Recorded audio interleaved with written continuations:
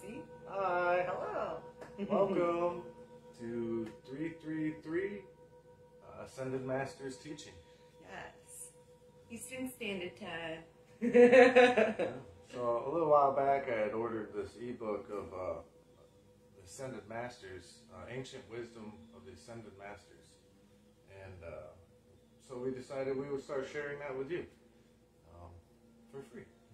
so, today we're on number three, which is awesome because a lot of threes going on today, a lot of uh, feelings of fruition and coming to completion, and a lot of feelings of understanding. Mhm. I feel like us as a couple have come to some really good understandings lately. I feel like,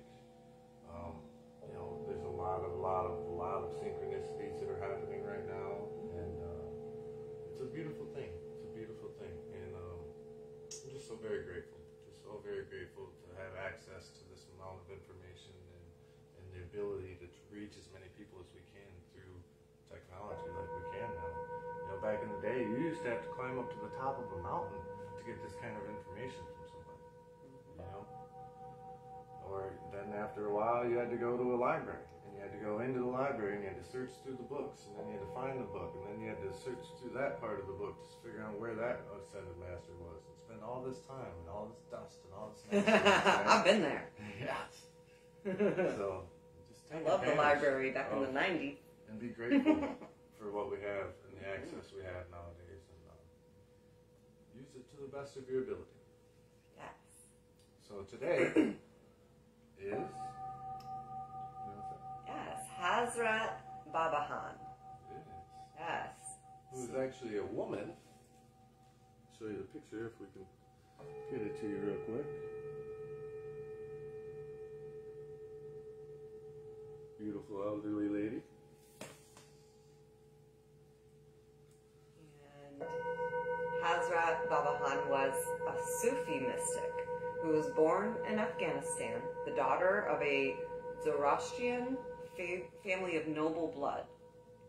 Her maiden name was Gulrukh, and her, from an early age she was groomed as any other Afghan aristocrat, learning the Quran by heart and becoming conversational in many languages, including Arabic, Persian, Urdu, Urdu, and Pashto. I've heard of those two. right?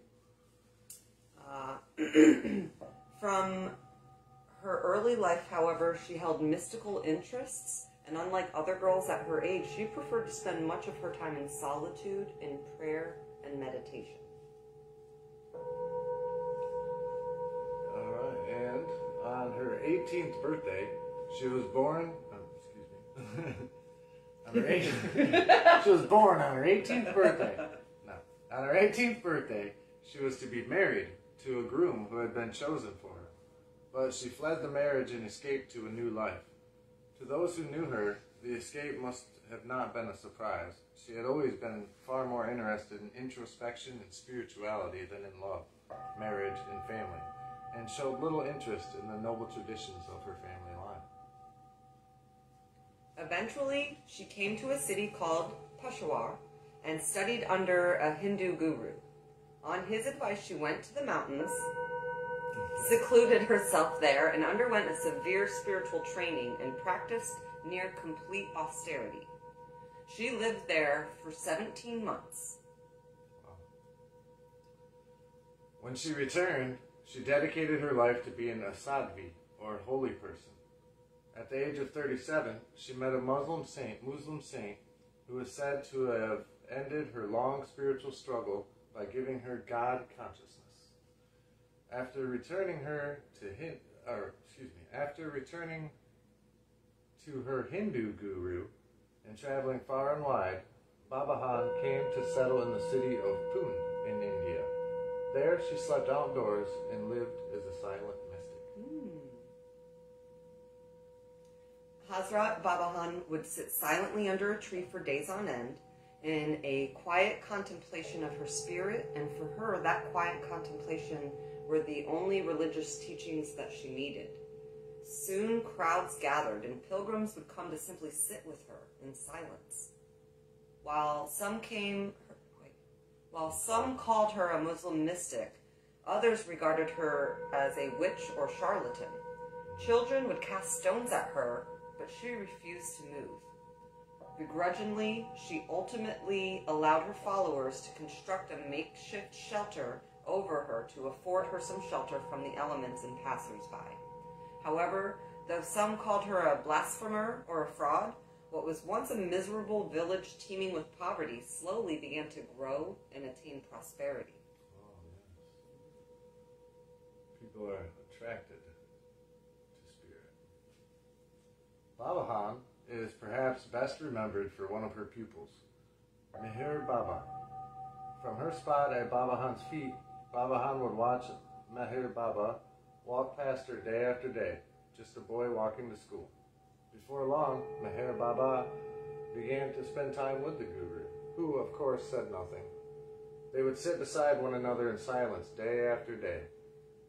And finally, on an otherwise unremarkable day in May 1913, Babahan kissed Meher Baba on the forehead. No ordinary kiss. Her kiss was so powerful that it knocked the boy out. He was essentially comatose for nine months. She had passed along what had been given to her, the God consciousness. She died in September of 1931 after a surgery on one of her fingers. What? Before she died, she is said to have uttered, The work is over. I must close the shop. Oh, you get Me too! Really? yeah! Wow. uh, teachings. As an often silent mystic, Hazrat Babahan doesn't have many teachings per se, but she was a living embodiment of the divine transmission of knowledge. Perhaps her greatest teaching was that, like her, and like Meher Baba, uh, any of us can become vessels for the divine. And we can all gain nourishment from the realm of spirit and light. Yes. So, the greatest lessons the divine can teach any of us if only we are open to the experience. Oh, it actually says touch any of us. Oh, The divine can touch any of us. what did I say? Teach. Teach. Oh, okay. You Same. touch any of much the same, right? Yes. So when you're touched by the spirit, that you're willing to listen Right. you will That learn. You, you will be taught. the nourishment of spirit, excuse me, the nourishment of spirit is as vital and as valuable as the nourishment of rich food and drink. Mhm. Great, greatest quotes. So she did say some things from time to time. Oh. Despite millions of learned pundits and thousands of wise men, only God understands his own way of working. very, very complex. Wonderful is your creation, O God. Wonderful is your game. You poured jasmine oil on the head of a shrew. Okay. oh, we heard a little bit about this one. It is time. Time for me to leave now. The work is over. I must close the shop.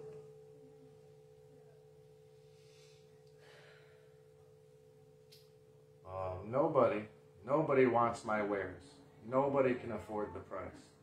I have turned my goods over to the